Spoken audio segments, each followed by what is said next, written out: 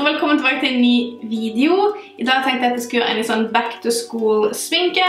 Det er veldig mange som har begynt på skole igjen, begynt på selvfølgelig skole, begynt på studier. Mange har begynt på jobb igjen, altså hverdagen har kikket inn for de aller fleste av dere. Og da vil man at sminka bare skal på en måte gå kjapt. Denne videoen her er da i samarbeid med Bli Vakker, og jeg elsker som alltid å lage videoer med Bli Vakker, fordi de har så stort utvalg, og det er så enkelt å finne produkter derfra, for de har jo alt, basically. Og de har på en stor variasjon med billige produkter til dyre produkter. Så jeg kommer til å linke alle produktene der innenfor boksen, så er det bare på en måte å sjekke ut det dere er interessert i. Og så, ja, jeg tror rett og slett vi bare starter med en gang med sminkelokken. Så det første jeg kommer til å gå inn med er da primer, for det er for sminka til å holde lenger og se bedre ut på huden. Så da går jeg inn med NYX sin Honey Do Me Up. Jeg synes den er så kul, og han minner veldig om den Gurla Gold Primer, som er veldig dyr.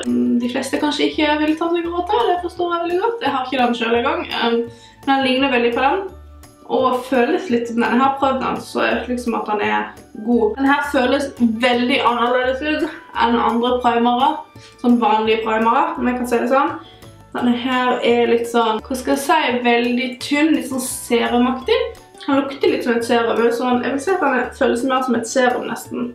Noe som jeg synes er veldig interessant. Jeg synes det er kult at NYX har kommet ut med dette produktet. Huden føles litt sånn sticky ut, noe som er veldig bra, for det er jo det som får foundation til å sette seg ordentlig på huden. Så denne her tror jeg faktisk kan være skikkelig god. Jeg har faktisk en ganske god følelse på den. Så tenkte jeg at vi går inn med foundation, og da er det mange å velge mellom. Det er så mange gode, så mange som ikke funker så bra, men en som jeg synes funker veldig bra, og som er veldig sånn long wearing og dekker bra, er denne her fra Wet n Wild faktisk. Denne her liker jeg kjempegodt fordi den dekker bra. Um, han er veldig lang lasting, som jeg sa, og jeg liker fargen veldig godt. Jeg har veldig fine farger faktisk. Denne her er golden beige, og den passer meg veldig. Det som jeg liker med denne foundation er at du kan faktisk få den ganske naturlig. Jeg føler at de fleste på en måte beskriver denne foundationen her som veldig full coverage. Og du kan selvfølgelig få han til å være det, men hvis jeg bare tar litt på, så føler jeg at han blir ganske naturlig. Så det er veldig bra hvis du vil ha litt mer naturlig. Eller så vil jeg kanskje gått inn med en BB-cream eller noe sånt. Jeg bruker veldig ofte BB og CC Creams, sånn til hverdags. Jeg liker veldig godt den foundation fordi at han ser på en måte litt ut som hud. Um, du kan på en måte fortsatt se litt av huden gjennom, og han er ikke så veldig matt, han er ikke så veldig glødende, han er liksom bare hudteksturaktig, hvis dere skjønner hva jeg mener. Og så er det tid for litt concealer, og da bruker jeg eh, Revolution sin eh, Conceal and Define concealer, som jeg har likt kjempegodt i det siste.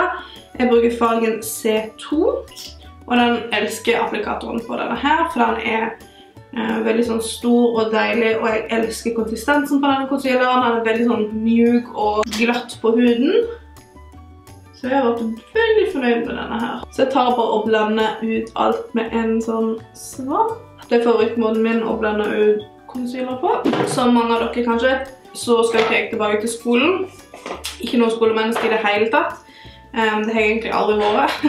Så jeg kommer ikke til å dra tilbake til skolebenken med det første, men jeg vet at det er mange som må, og mange som liker skole, og må gå på skole for å komme der de vil i livet. Skole er jo veldig, veldig, veldig, veldig, veldig viktig. For meg har det aldri på en måte vært min greie. Jeg har aldri likt skole så godt, jeg har aldri trivd så godt med det. Om jeg trenger det etter hvert, eller om jeg plutselig får lyst, så kommer jeg selvfølgelig til å gjøre det, men foreløpig så har jeg ikke noe lyst til det. Og det bør være greit det. Jeg føler det er veldig mange som dømmer litt folk som ikke går videre på skole, liksom, å, hva du gjør, bare jobber du, liksom. Eller liksom sånne ting. Jeg synes det er så teit at folk gjør det. Så um, jeg synes alle bare skal respektere at ikke alle har lyst til å studere. Og det er, altså jeg har møtt så mange som bare studerer ting bare for å studere. Jeg synes det er så unødvendig og rart, så jeg sånn, Hvis jeg virkelig skal studere, så vil jeg virkelig vite hva jeg skal. Nå går jeg forresten inn med Sensai sitt Loose Powder. Det er mitt favoritt å bake med. Det legger jeg bare under øynene for å få concealeren til å virkelig sitte hele dagen. Og det kan love dere, det gjør det virkelig med dette pudret her. Så jeg lar det ikke sitte sånn kjempelenge på huden. Når du baker så skal du sitte noen minutter, men jeg synes egentlig det gjør en ganske fin effekt med å bare ta det vekk. Nesten med en gang. Også til vanlig pudder så går jeg inn med NYX sitt uh, No Filter Finishing Powder synes det er veldig, veldig, veldig bra.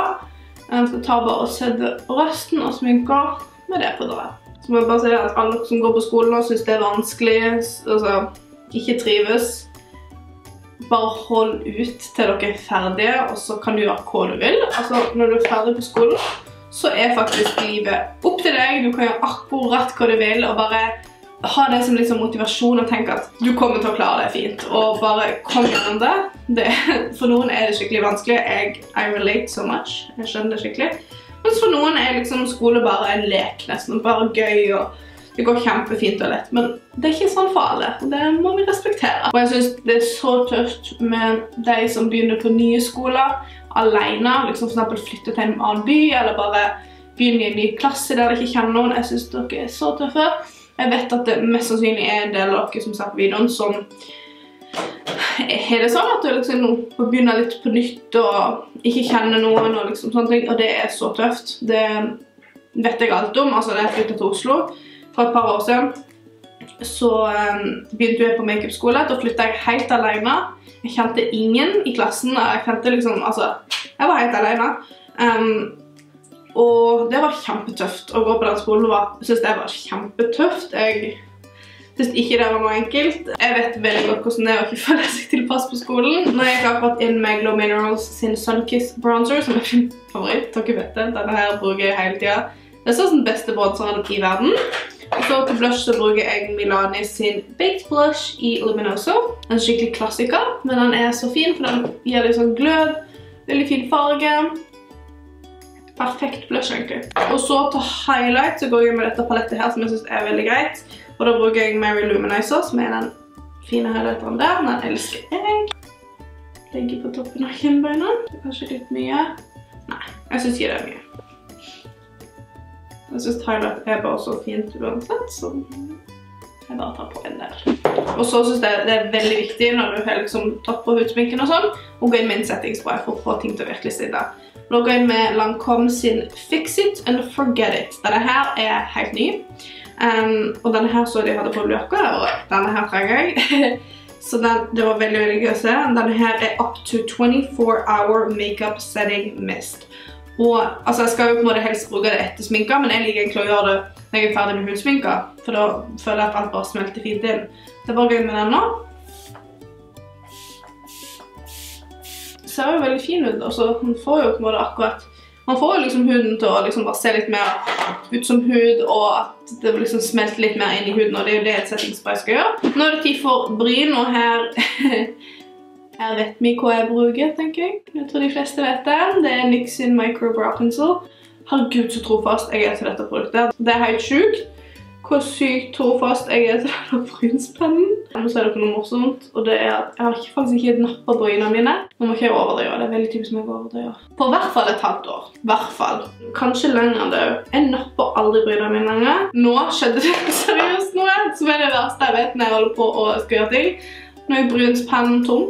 Han er helt tom. Jeg håper virkelig at jeg har et eller annet. Jeg kan bruke. Jeg har en Anastasia Browies i medium brown her, så det var jo greit. Den er jo kjempegod denne, så da bare går jeg inn med finner ut litt der som jeg ikke fikk gjort med den andre. Så til brynsgelé så bruker jeg Anastasia sin um, Clear Brow Gel. Den her får virkelig hårene til å sitte hele dagen. Den er helt fantastisk. Uh, så hvis du vil virkelig ha noe som holder brynene på plass, hvis du føler at brynsårene liksom ikke sitter ordentlig på plass, denne her er helt rå. Og så tenkte jeg å legge litt øyenskygge, ikke for mye, for det er som regel ikke noe de fleste orker å gjøre til skolen, men jeg synes det er fint å bare ha litt sånn wash of color på øynene. Og da har eh, Wet n Wild seriøst det fineste palettet, og det er så bra, altså kvaliteten er dritbra. Og jeg så på nettsiden og det ble akkurat, jeg tror det koster under 100 kroner. Jeg tror det koster sånn 70 kroner eller noe, og hvis du ser nærmere på det, så ser du kanskje at det er veldig likt Modern Renaissance fra Anastasia. Fargen er jo helt like, så jeg synes dette her paletter er utrolig bra, så jeg bare går inn med den lyseste fargen først. Sånn farge. Som jeg bare alltid ligger og sedder først hele lokket med. Så går jeg inn med den fargen som heter Transition, som er den veldig varme brunfargen.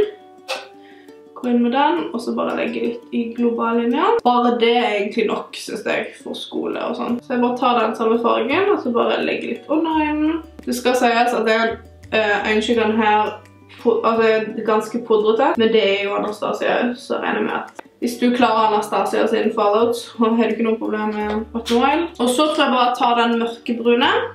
Veldig fin mørkbrun. Jeg passer perfekt til det jeg skal gjøre nå. Ta bare den på en sånn linerkost, og så bare legge helt inntil vippekanten. Jeg synes det kan være veldig fint å bare være en liten detalj som på en måte gjør at det ser ut som du har prøvd litt mer enn du egentlig har. Og så er det veldig enkelt, for du kan på en måte være litt sånn messy når du gjør det. Du trenger ikke være sånn skikkelig presis, sånn som du måtte vært med for eksempel en liquid eyeliner. Så tar jeg bare også og går inn med den lyse gullfargen her. Og så bare legge på en flatekost, og så bare legge litt sånn her for å gjøre litt mer sånn shine og bare for å lysne litt opp, egentlig. Prøve litt av den lyse beige som jeg brukte først. Så tenkte jeg bare å gå inn med mascara. Da går jeg med Maybelline sin Lash Sensational. Denne her er billig og den beste. Den får virkelig vippene mine til å se bra ut, og mine vipper ser aldri bra ut. det er veldig sånn veldig små, tynne vipper. Det som er litt rart, altså nå babler jeg litt om livet mitt og sånn, men jeg håper dere synes det er greit.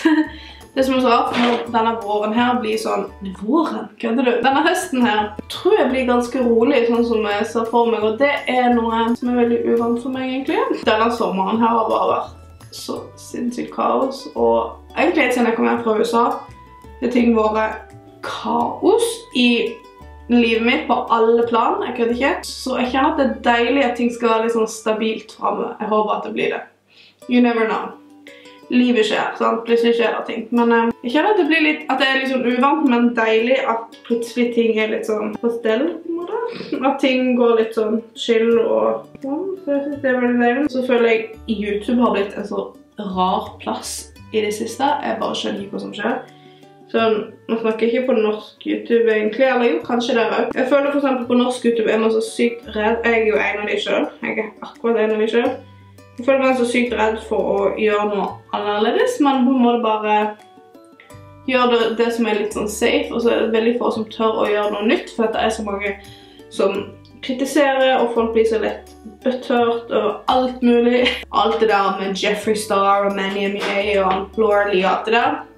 Jeg synes jo det er kjempemorsomt å følge med på, men det er jo helt sykt hvordan din karriere, altså karriere kan ende så fort med at du bare sier noe feil.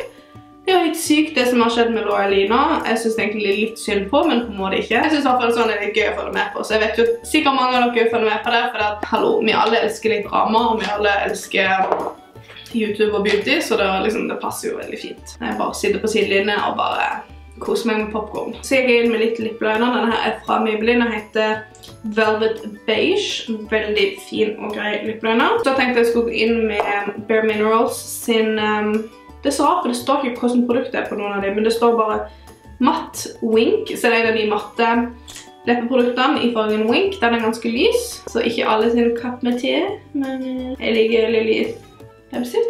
Og så lys er den jo ikke.